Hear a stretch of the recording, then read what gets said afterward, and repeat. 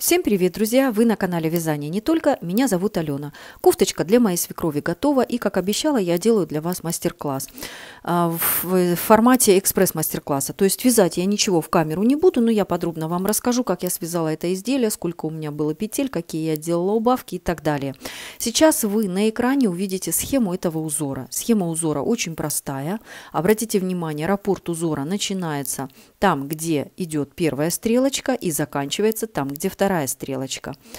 А, значит, если вы вяжете обратно поворотными рядами, то вы, соответственно, берете нужное количество вам рапортов и прибавляете еще две кромочные. Я же вязала по кругу, поэтому у меня две кромочные выпали.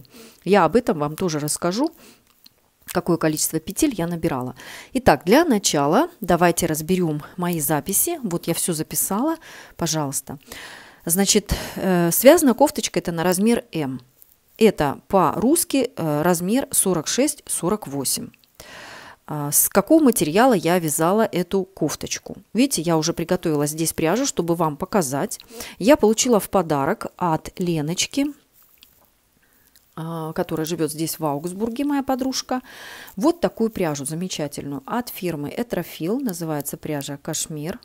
Это искусственный кашемир вот, я все показываю, здесь я тоже вам все расскажу, потом покажу записи мои. Значит, это искусственный кашемир, и у нас получается в 100 граммах 225 метров. Вот вы видите, у меня в упаковке было 5 мотков, и у меня вот еще целый моток остался. Я буквально с этого моточка взяла буквально 1 сантиметр, чтобы довязать резинку на рукаве. То есть, ну, вообще вот прекрасный расход пряжи, да, то есть мне хватило 4 мотка, один моток у меня еще остался. Вторая пряжа, с которой я смешивала вот эту пряжу, это пряжа Yarn Art Silky Wool – Эту пряжу я брала в одну нить, и эту пряжу я брала в одну нить. Здесь у нас, пожалуйста, все обозначения. Это по составу пряжа шелк и мериносовая шерсть, и у нас моточек 25 грамм. Но здесь очень хороший метраж, 190 метров. Здесь очень тоненькая ниточка, такая прям, знаете, тонюсенькая, легенькая, нежная. И я в одну ниточку эту брала нить, и эту, и вязала на спицах 4,5. Только горловину и манжеты оформляла на спицах номер 4, последние два ряда. И у меня упаковка была 10 мотков. Сначала первые мотки у меня а, шли один в один, а потом уже к концу вязания у меня получилось так, что здесь использовалось у меня 4 мотка, один моток остался, а здесь использовалось 4,5 мотка. И вот от пятого моточка осталось вот это. То есть у меня осталось еще 5,5 мотков вот этой пряжи. И что у нас получается? Вот, пожалуйста, Кому подробнее, можете сделать скриншот. Здесь все по пряже я написала. И получается, что расход вот этой пряжи от фирмы Трофил 400 грамм, а расход вот этой пряжи от Yarn Art Silky Wool получается приблизительно, ну, где-то 120 грамм. Приблизительно. Получается, что вместе вес изделия 520 грамм. Вот. Очень хороший расход, и у меня здесь еще осталось много пряжи, можно еще что-то придумать и скомбинировать. Итак, что хочу сказать, что после стирки э, очень становится мягким полотно. Нереально мягким. Просто, вы знаете, как, ну вот если вату в воду опустить, да, вот такой эффект получается. Вот такой мягкости, вот такой невесомости. Соответственно, я быстренько это все в теплой водичке простернула, потому что мне просто стирать не надо было, ну только чтобы петельки разровнялись, да. Потом абсолютно нормально я выжила это все, потом я разложила это изделие на полотенце, свернула вместе с полотенцем, выжила в рулике, и потом просто это изделие разложила.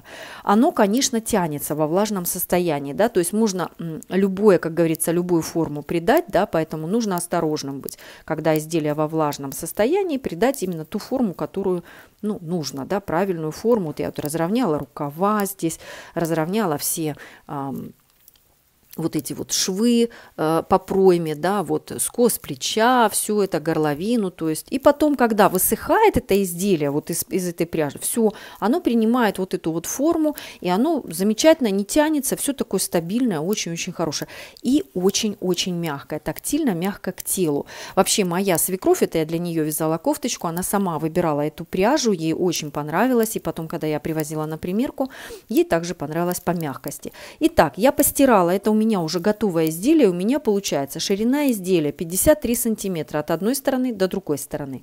Длина изделия 64 сантиметра в самой высокой точке плеча и 60 сантиметров самая низкая точка плеча. Соответственно, скос плеча у меня составляет 4 сантиметра. Ширина рукава вот здесь, в, самом, в самой широкой части у проймы 17 сантиметров. После убавок у запястья уже у меня получается 13 сантиметров. Длина рукава от начала до конца 60 сантиметров. Высота проймы составляет 20 сантиметров. Ширина плеча 12 сантиметров. Ширина горловины без обвязки я мерила, то есть я вот померила вот отсюда до вот этого места, то есть без обвязки. И у меня получилась ширина горловины 21 сантиметр. Глубина горловины получается от плеча без обвязки вот до этого места 13 сантиметров. Скос плеча 4 сантиметра, это я уже вам сказала. Причем пройму, да, я, соответственно, мерила, когда я ее замеряла, именно, именно вот так. Вот пройма, вот, вот пройма, но это она по длине. А я же делала убавки, то есть вот идет здесь пройма. И я измерила вот именно от этой линии до плеча 20 сантиметров. То есть не вся длина, если вот так растянуть, а именно высота после вот этих убавок, которые я делала после подрезов. Значит так, кто-то мне написал, значит, что зачем делать подрезы, если у вас шивное изделие. Друзья мои, у меня изделие не шивное, у меня нет швов, я вязала изделие по кругу. Поэтому в области проймы я делала убавки и называется это, да, это называется подрезы. Это терминология из... Э, ну, скажем так, швейного контента, не вязального, а швейного, да, вот это место называется пройма, а именно убавки, начальные убавки для проймы, это называется подрез. Поэтому у меня все сделано, все выполнено у меня правильно. Так, Дальше. Кто-то написал, вы заметили, да, уважаемые зрители, что здесь у меня узор идет вверх, а здесь узор идет вниз. Совершенно не критично. Я очень рада, что вы это заметили, вы мне это написали. Я это знала, так как, естественно, изделие я вязала здесь снизу вверх, соответственно, и узор идет снизу вверх, а рукав я вязала имитация вточного рукава, и я вязала сверху вниз, поэтому, соответственно, узор у меня также идет сверху вниз. Но именно в этом узоре это не критично. Ну, то есть вы видите, да, здесь две дырочки. Тут не о чем разговаривать, да, поэтому здесь не критично, в какую сторону идет узор, вверх или вниз, да, вот, если бы, конечно, это был какой-то ажурный узор, листья, араны, которые должны идти в одном направлении, соответственно, естественно, вяжем тогда обычный вточной рукав, вяжем снизу вверх и оформляем окат. Это уже по желанию, кто как, знаете, хочет, кто как любит, кому как нравится. Значит так, что у меня получается? Раппорт узора у нас 8 петель, то есть, соответственно, у меня получилось 22 раппорта.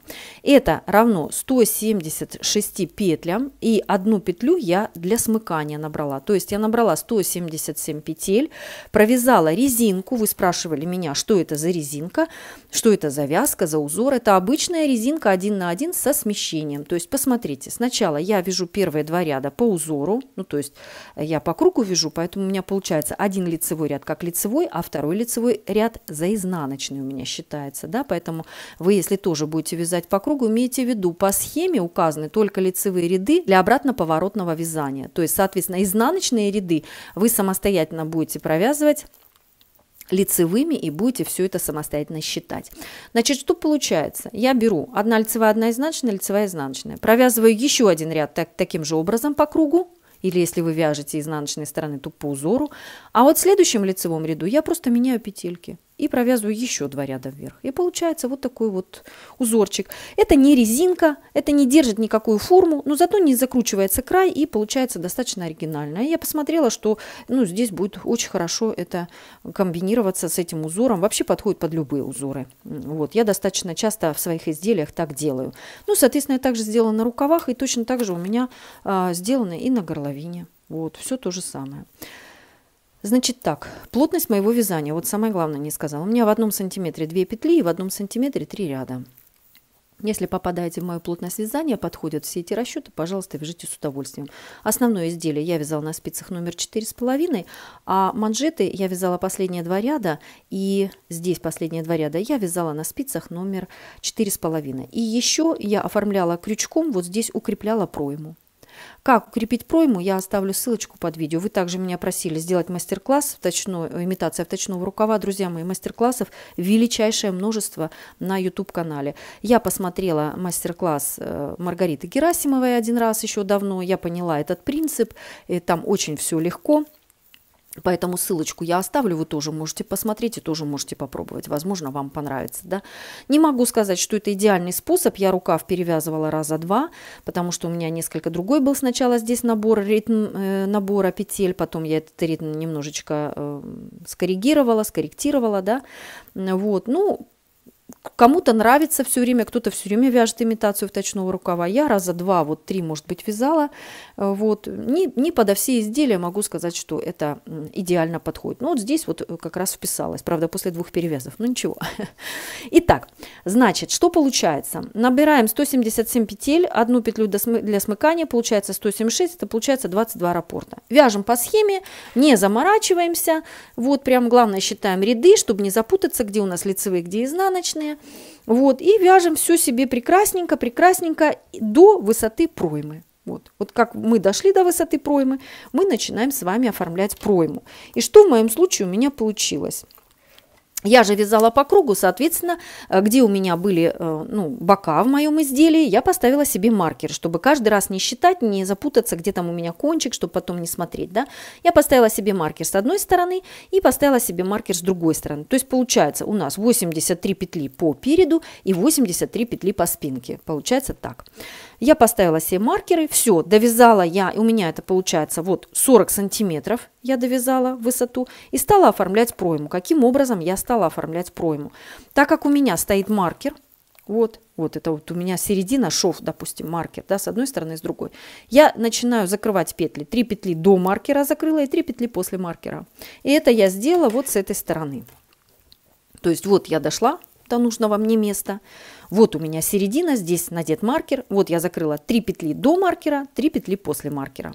Провязала я на следующую ну, сторону, да, у меня здесь то же самое, у меня тоже здесь посередине стоит маркер, я тоже закрыла 3 петли до маркера и 3, 3 петли после маркера закрыла. Все, я выполнила пройму, подрезы, да, так называемые подрезы, скажем так. Далее, что я сделала? Я стала дальше, ну, естественно, перед мы потом вяжем отдельно, спинка у нас отдельно. Я спинку пересняла на другие дополнительные спицы и стала вязать перед. Провязала. Теперь уже я вяжу обратно поворотными рядами. Я провязала изнаночный ряд следующим лицевым, еще 3 закрыла с одной стороны и, соответственно, 3 закрыла с другой стороны. Провязала следующий ряд, 2 с одной стороны, 2 с другой стороны. Еще один ряд, еще 2, еще 2 и еще одну. То есть у меня достаточно такая глубокая пройма, да, потому что по просьбе моей свекрови она попросила не делать узкую пройму и не делать высокую пройму. Ей нравится, когда на плече свобода, облегание большая, хорошая свобода облегания. Не нравится ей, когда давит, э, когда узко, когда швы чувствуются, не любит. Поэтому я по ее просьбе сделала более глубокую пройму. Вы, конечно, смотрите, примеряете по себе, вы смотрите по своему изделию, вы смотрите, как это лучше сделать вам, да, то есть ваши расчеты не обязательно должны быть такие, как мои. У вас может быть совсем-совсем по-другому. После того, как я это все выполнила, и я довязала до высоты горловины, опять-таки высоту горловины э, каждый регулирует самостоятельно. Можно ниже сделать, можно выше сделать, можно прям совсем под горло сделать, как угодно. Вот, я дошла до горловины, у меня это получилось где где-то, ну, от оформления проймы где-то, э, ну, сантиметров, наверное, 12, да, я еще провязала, вот от проймы сантиметров 12 в высоту приблизительно, да, вот. И у меня получилось, я 20 5 петель провязала с одной стороны, 11 петель закрыла, у меня 25 петель с другой стороны. Все, я вяжу эту сторону, это пока у меня свободная, я вяжу эту сторону и вяжу лицевой ряд изнаночный, лицевой изнаночный и убавляю здесь петельки. Все, убавила еще 4 петли, продолжаю вязать дальше. Довязала до нужной мне высоты, оформила скос плеча. Скос плеча я оформляла обратно поворотными рядами. То есть 21 петлю я разделила на 4 части и стала просто обратно поворотными рядами здесь убавлять. Можно просто частичным закрытием делать, как угодно. Можно не делать скос плеча. Если у вас э, красивые спортивные плечи и вам скос плеча не нужен, то, пожалуйста, и не делайте. Соответственно, одну сторону я довязала, точно так же связала и другую сторону. И здесь убавки точно так же с этой стороны по горловине сделала, так же, как и здесь. Все. Я перед связала. Приступила к вязанию спинки. На спинке я тоже делала убавки после проймы, но уже не, не такое количество. У меня получилось получилось еще раз 3 петли, еще раз 2 и 1. Все. Также я сделала и с этой стороны. После убавок у меня получилось 65 петель. Здесь 61, здесь 65. Соответственно, я вязала. У меня тоже на спинке оформлен э, вырез горловины, но он у меня не такой, соответственно, глубокий. Да? Сейчас одну минутку я разверну изделие, вам покажу. Вот, пожалуйста, посмотрите. Здесь у меня тоже вот, видите, вырез горловины. Но он не такой глубокий, он буквально а, в пределах 2 сантиметров получается. Да? И, значит, у меня что получилось? Я дошла до, нужного, э, до нужной высоты, я уже посмотрела, а вот мне здесь скос плеча нужно оформлять. И я сделала один разворот, с этой стороны второй разворот сделала и закрыла средние 19 петель. Потом у меня осталось еще два разворота, и за счет этих двух разворотов я с одной стороны 2 петли сократила, и потом сюда вернулась, и с этой стороны 2 петли, два разворота сделала и 2 петли сократила. Все. И у меня получилось, ну, вышло на то же количество петель. 21 петля на плече, здесь по спинке и также по переду. Все. После того, как все это у меня было готово, я сделала обвязку горловины потому что э, я уже убедилась, что в изделии это важно. Когда горловина не закончена, можно ошибиться с длиной рукава. Когда же горловина уже закончена, здесь она зафиксирована, тогда уже легче определиться, какую длину рукава делать. Поэтому я всегда горловину в изделии оформляю э, ну, вперед, э, вперед, э, прежде чем я вяжу рукав. Я, значит, набрала все петли, которые у меня были закрытые, провязала один ряд изнаночными петлями по лицевой стороне и потом провязала также резинку со смещением. И здесь я вязала спицами 4,5, а последние два ряда я поменяла спицы на номер 4. И закрытие я сделала с изнаночной стороны эластичным способом путем накида. Тоже очень много есть видео на ютубе, там очень а, все легко, просто делается накид между, э, перед лицевой и перед изнаночной, и потом он точно так же сбрасывается на левую спицу. И получается зафиксированная такая красивая горловина, и в то же время, а, ну, комфортно будет надевать этот э, джемпер через голову. Все, когда я все закончила, я, соответственно, приступила к вязанию рукава. И у меня получилось, что так как это мягкая пряжа, я постирала ее, соответственно, то у меня пройма вытянулась. Она стала длиннее, и меня это не устраивало, мне нужно было ее зафиксировать именно той высоты, которая мне была нужна. И мне была нужна высота 20 сантиметров, да, то есть по меркам моей свекрови. Значит, соответственно, я сделала тамбурный шов по кромочным петлям по э, периметру всего моего э, рукава, не рукава, а проймы, извиняюсь.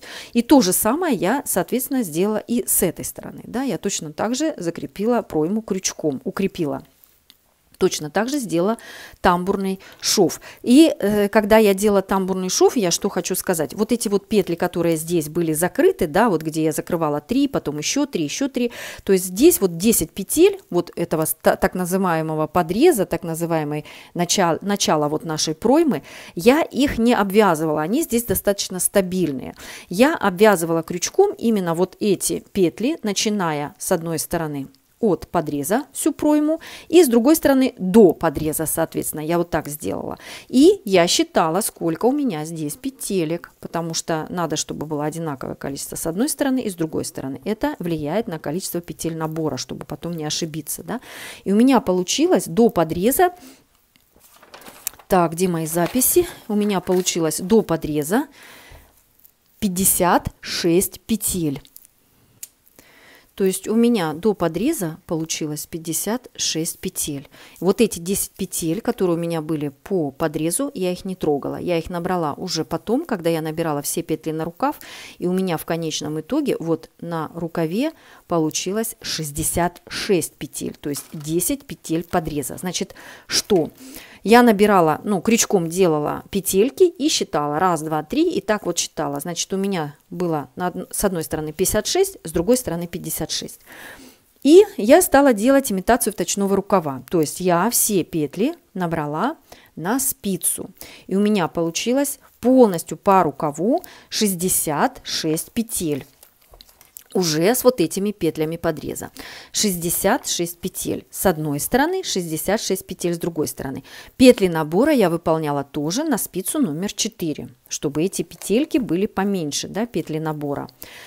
Значит, спицы номер 4, да, потом я вот эти вот петли, когда набирала. А, кстати, я набор выполняла вот сразу уже здесь. Смотрите, как я делала. Сейчас я вам объясню. Вот плечо. Вот. Вот я присоединила нить сразу вот здесь. То есть не в шве, не вот здесь внизу, а здесь, где я начну вязать после ряда набора. То есть я отчитала по кромочным петлям, ну вот укрепленные мои петли, я отчитала от плечевого шва 11 петель. Закрепила нить и стала набирать петли. Соответственно, до этого момента у меня получилось 66 петель. Вот, значит, набрала здесь, у меня получается, прикрепила нить, 11 петель до шва, и потом все петли набрала, вернулась в это место.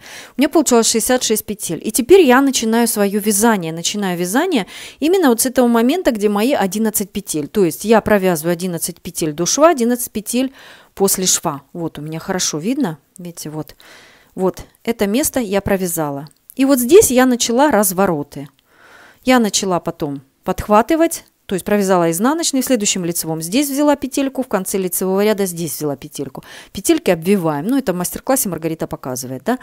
Опять изнаночный в следующем лицевом, опять здесь петельку, здесь петельку. И так в каждом ряду я поднимала петельки, петельки, петельки до линии подреза. Вот. А потом, когда я дошла до подреза, вот эти все петли я подняла одним разом. То есть здесь я уже не поднимала по одной петельке, я подняла их одним разом. И так как это имитация вточного рукава, мне нужно было здесь сделать убавки, и я мыском стала делать здесь убавки 2 вместе, 2 вместе, 2 вместе, пока у меня не получилось Здесь три вместе. Я изначально брала нечетное количество петель, три вместе.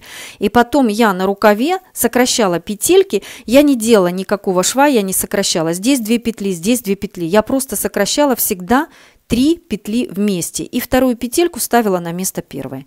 И у меня получились вот вот как бы и шов, и в то же время убавочки вот аккуратненькие. Да? Три вместе это получается, соответственно, с одной стороны убавляется одна петля, с другой стороны убавляется вторая петля, и одна петля остается у нас по центру. И все. И я делала убавки, ну, до, до того количества петель, какого мне было нужно, и у меня получилось на рукаве, значит, в начале рукава 66 петель, потом делала, делала, делала убавочки, и вот здесь уже у запястья у меня 46 петель. Можно уже сделать рукав, да, можно не длинный делать рукав, можно три четверти делать рукав. Это все по желанию. Ну, меня свекровь а, попросила, чтобы я ей сделала рукав длинный. Она хотела вот сейчас именно весной эту кофточку надевать. А так как мы живем в Германии, у нас, знаете, такая погода обманчивая. У нас, э, даже если наступит весна, у нас может быть один день плюс 15, а на следующий день у нас может быть плюс 5. Вот, поэтому, соответственно, вот так у меня по рукаву получилось. Как я ориентируюсь, с какого количества петель вот здесь делать набор, ну то есть начало рукава. Я хочу сказать вам, что раньше, когда я пробовала вязать имитацию вточного рукава, я делала вот здесь начальное количество петель меньше. То есть я, например, начинала только лишь с 10 петель. И потом начинала петельки поднимать, поднимать. Это надо смотреть, конечно, смотря из какой пряжи вы вяжете, толщина вашей пряжи, высота вашей проймы и так далее, и так далее. Но я для себя отметила, такую ну, тенденцию, вот не знаю, такую особенность, да, что когда набирается маленькое количество петель и потом делаются эти прибавки, рукав получается не под углом 45 градусов по отношению к изделию, как он должен быть, а он получается вот таким. Он получается вот так. И когда надето изделие, то оно вроде бы нормально. А когда вы двигаетесь в изделии, то вот здесь вот получается, ну, пузырь, я не знаю, как назвать это. Ну, лиш, лишняя пряжа, лишнее изделие получается, да.